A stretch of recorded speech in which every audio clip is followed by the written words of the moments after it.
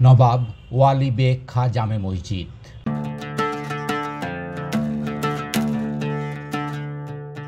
অলিখা মসজিদ নামেও অধিক পরিচিত। বাংলাদেশের চট্টগ্রাম শহরে অবস্থিত একটি মসজিদ। আঠারোশো শতকে নির্মিত এই মসজিদটি চট্টগ্রাম মহানগরের চকবাজার এলাকায় অবস্থিত। তবে মসজিদ এলাকাটি মসজিদটির নাম অনুসারে অলিখা মোড় নামে পরিচিত। চকবাজার গুলজার মোড় থেকে মাত্র একশো গজ উত্তর দিকেই মসজিদটির অবস্থান।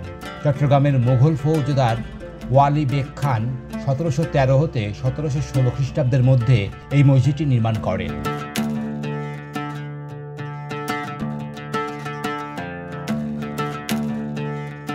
ওয়ালি খান চকবাজারের প্রতিষ্ঠাতা ছিলেন। তিনি মসজিদের রক্ষণাবেক্ষণের জন্য বেশ কিছু জমিও দান করেন।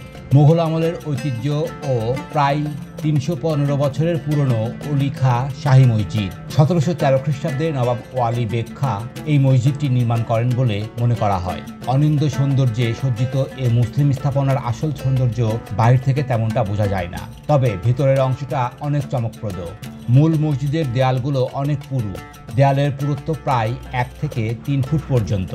দেয়ালের গায়ে রয়েছে ছোট ছোট ছোপ, যেগুলোতে প্রয়োজনীয় জিনিসপত্র রাখা হতো বলে ধারণা করা হয়। বর্তমানে এই খোপগুলোতে পবিত্র কোরআন শরীফ সহ বিভিন্ন জিনিস রাখা আছে।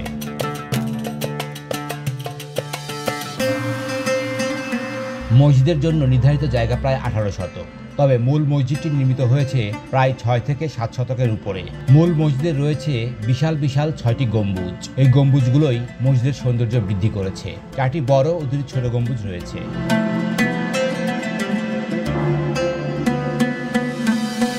দীর্ঘদিন অবহেলা আর অযত্নে পড়ে থাকার পর দু হাজার দশ সালে মসজিদটি ভেঙে পুনরায় নির্মাণের সিদ্ধান্ত নেয় স্থানীয় কিছু লোকজন। পরে মূল মসজিদটি ভেঙে নতুন মসজিদ গড়ার বিরোধিতা করেন কিছু সচেতন ব্যক্তি। তারা বলেন, মূল মসজিদটি যেহেতু মুঘল আমলের স্থাপনা, এটি মুসলমানদের জন্য একটি ঐতিহাসিক মসজিদ। তাই মূল মসজিদটি না ভেঙে সামনের খালি জায়গায় নতুন করে মসজিদ ভবন নির্মাণ করার পরামর্শ দেন তারা।